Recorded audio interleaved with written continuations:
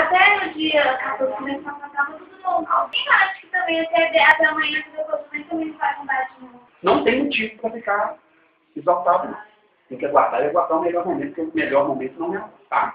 Por quê? Vamos supor, principalmente, se esse menino está bem, você não tem necessidade de tirar ele agora. E hoje, qual é a nossa limitação? É ir para um berçário com potencial de infecção. E a chance de tirar. Qual é o melhor lugar para o neném? Estiver bom. Não tem necessidade. Dá para esperar. Tem que ser uma coisa programada. Se fosse uma emergência, igual eu tive lá agora, quando nós tivemos retirar o menino lá, aí é diferente. Tá